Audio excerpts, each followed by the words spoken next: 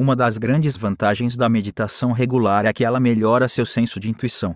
Quanto mais você pratica a meditação, mais obtém insights sobre todos os aspectos de sua vida. As ideias podem estar relacionadas a eventos presentes ou passados, levando a uma maior compreensão do caminho de sua vida, ou podem se relacionar a eventos futuros.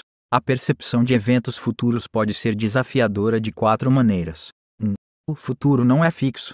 Até que você o experiencie, o futuro permanece como um conjunto de possibilidades com um cenário mais provável, com base no que contém a maior energia. 2. Visualizar o futuro pode mudar o resultado. Mesmo uma visão 100% precisa do cenário mais provável desencadear a pergunta sobre se você deseja que esse cenário se manifeste e que essa mudança possa influenciar o resultado.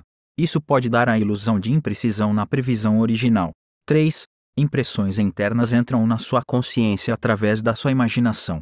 No entanto, uma imaginação fértil pode criar imagens por si só, quase para puro entretenimento.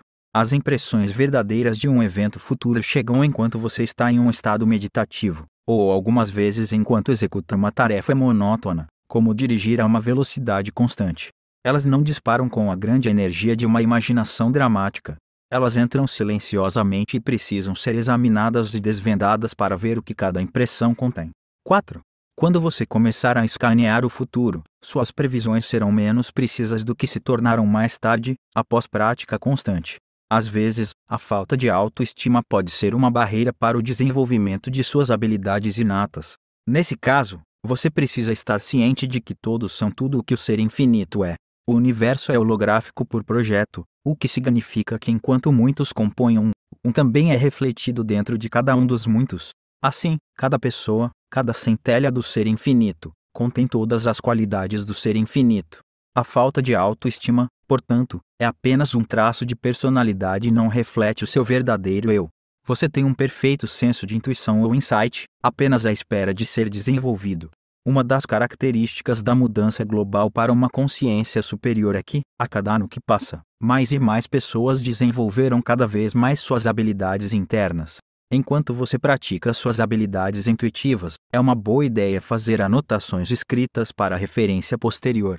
Os insights chegam à sua consciência enquanto você está em um estado alterado e meditativo, de modo que a memória deles se dissipa rapidamente, exatamente como a memória dos seus sonhos.